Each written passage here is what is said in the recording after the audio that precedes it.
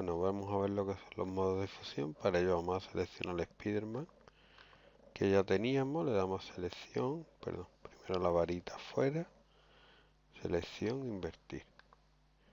Tenemos el Spiderman, le damos a copiar y nos vamos a otra foto cualquiera y lo pegamos.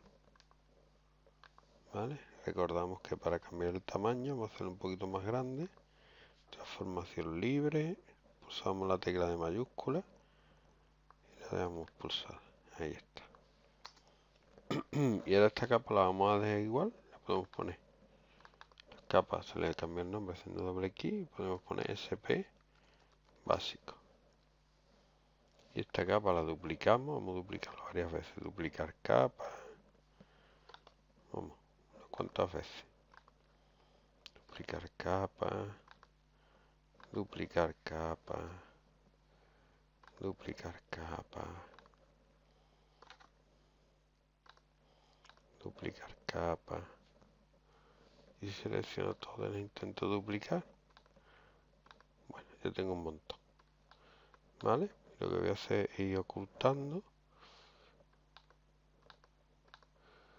todas las de Spiderman. Y a cada una le voy a explicar, le voy a aplicar un modo de fusión.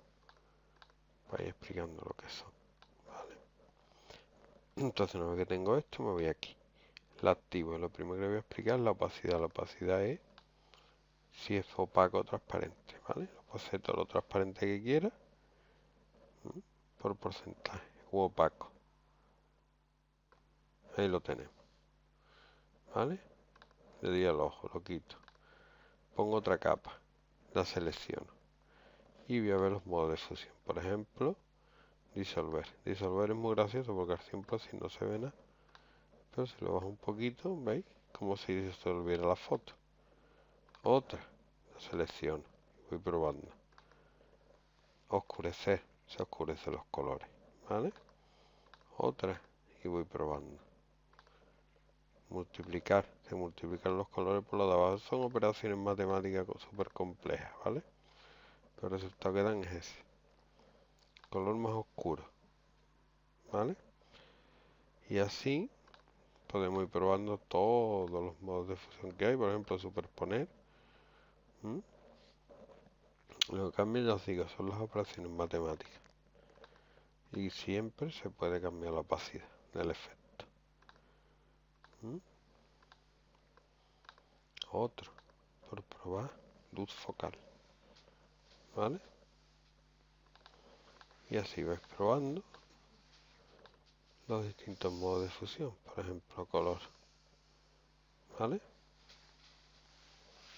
Otro. Restar. Se restan los colores. Pero eso yo lo que quiero es que probéis.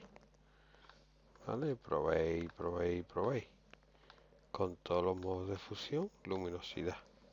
Se queda con la luminosidad de la foto nada más. Luz intensa, superponer. ¿Vale? Pues esos son los modos de fusión que permiten especificar cómo se mezcla una foto con las que tiene abajo. Ya veremos efectos más bonitos, pero lo que quería era lo práctico ver cómo se hace, se puede cambiar la opacidad, etcétera. ¿Ok? Pues ya está, esos son los modos de fusión.